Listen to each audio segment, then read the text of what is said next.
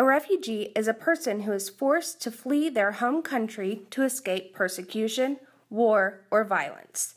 Catholic Charities of the Archdiocese of Oklahoma City is the only refugee resettlement agency in central and western Oklahoma. Catholic Charities works with the U.S. State Department through the National United States Conference of Bishops Network when resettling new clients.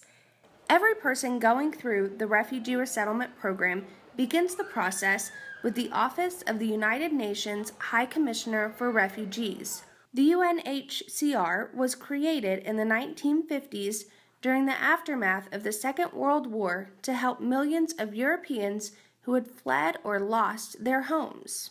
The first task of the UNHCR in 1951 was to help an estimated 1 million people who were uprooted in the aftermath of World War II.